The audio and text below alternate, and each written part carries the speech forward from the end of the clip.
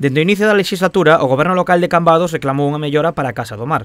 Xunto ca Asociación de Xubilados e Pensionistas, tiveron que facer fronte á Consellería de Política Social e ao Instituto Social da Mariña. Tras intentalo a nivel local e autonómico, elevaron unha proposición non de lei ao Congreso solicitando as reformas. Que se acometeran estas obras de mellora, que eran moi necesarias, porque a estrutura está moi dañada, as cubertas, as filtracións de auga, as humedades. Tuvemos unha resposta donde se nos decía que sí, que se iban a facer esas reformas, e xa nos decían incluso que esperaban eh, facelas ao longo do 2018.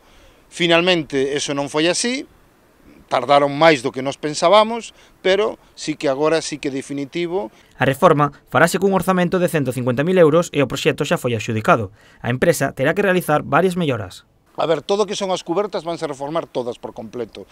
E despois tamén toda a carpintería exterior, que como vedes son pois tamén un bon número de, de fiestras e eh, toda as cubertas, toda a carpintería exterior, toda a fontanería, toda a canalización eh, e tamén todas o que son as redes de paredes interiores, fundamentalmente para evitar eso, para evitar as filtracións de auga, para evitar as humedades, non?